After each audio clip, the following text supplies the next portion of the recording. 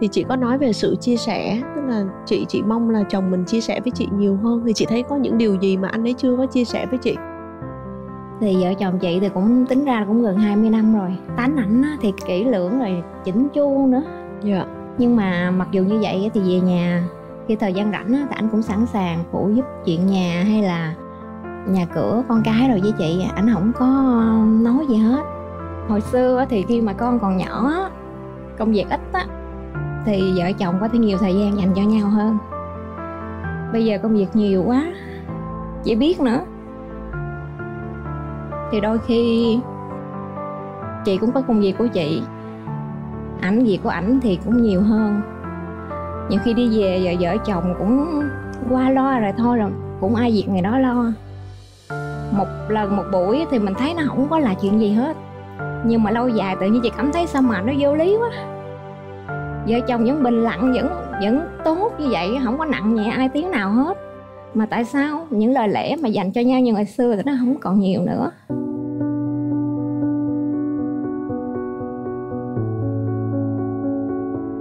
Nhiều nhiều khi mình mình mình nói mình nói thì bà xã nghe. Dạ. Còn có những lúc nhiều khi mình nói mà vợ không nghe nên mình cũng cũng không không không thích rồi thôi mình nói thôi. Giống như mình nói muốn làm gì làm. À là từ xưa giờ vậy hay là dạ. sau này mới vậy anh? Là từ lúc đi làm à chứ từ hồi cưới nhau thì mình có nói chuyện với nhau nhiều không? Dạ có còn ừ. chị. Ý chị là những lời ngọt ngào hay những cái những cái câu tâm sự hay là những điều gì ạ? Thì nếu mà nói ra thì có thể một số người nói là mình đòi hỏi nhiều quá ở một người chồng của mình. Nhưng mà chị nghĩ vậy nè em thì biết là khi mà dù có lớn, chị có lớn, con có lớn đi nữa, thì ảnh vẫn làm trụ cột của gia đình, ảnh vẫn lo lắng cho gia đình. Chị thì chỉ có nhiều thời gian rảnh hơn một chút. Thì chị cũng muốn tạo không khí vui vẻ hay gì đó, chị cũng muốn đi làm gì đó đi để cho sử dụng thời gian nhàn rỗi nó có tốt được một chút. Ban đầu thì ảnh không đồng ý đi làm, nhưng mà sau đó thì ảnh cũng vẫn đồng ý cho chị đi làm. Nhưng mà nhiều khi về có thể là phụ nữ trung niên rồi, nó sẽ dễ bị mệt thì nhiều khi về cái có thể là muốn ăn cơm chung một bữa hay là muốn vui một chút vậy đó, thì chị kêu mệt một xíu là ảnh có vẻ ảnh phật ý rồi ảnh nói. Có thể là anh vô tình thôi, nhưng mà làm cho chị buồn.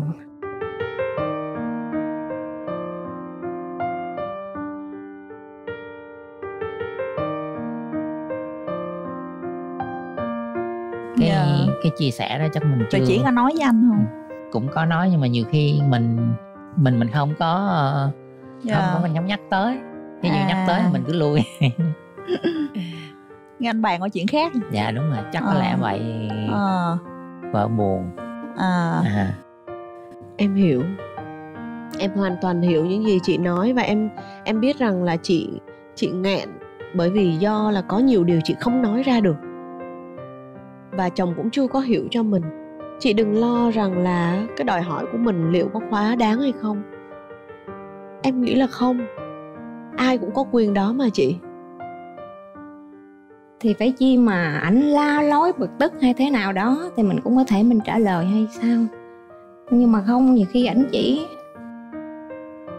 tầm thinh ví dụ như là ảnh kêu ăn đi, gia đình ăn ra ăn cơm hay ăn gì đó thì chị nói mệt quá xíu nữa rồi em ăn nha, đợi một chút nhiều khi anh nói ôi sao đi làm không mệt mà về nhà mệt vậy?